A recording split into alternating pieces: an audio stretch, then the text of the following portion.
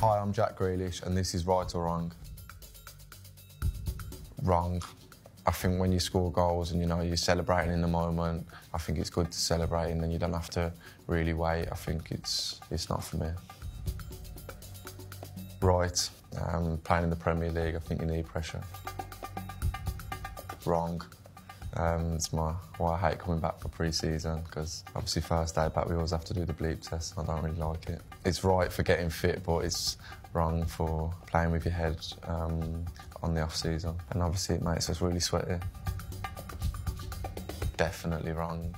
I don't think I've actually scored an own goal yet in my career, so touch wood.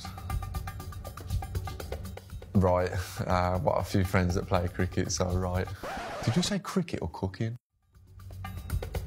Um, wrong. Um, when I got relegated, I think 2016, it was it was the worst year of my life. Wrong.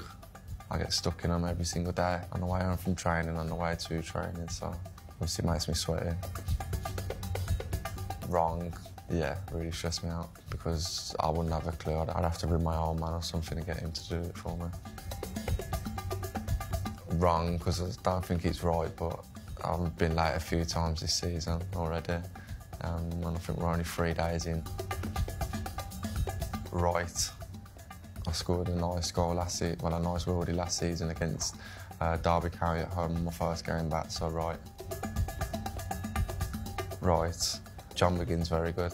He sings 500 miles by Proclaimers. I sing Sweet Caroline. For me, I'd be nervous and sweaty.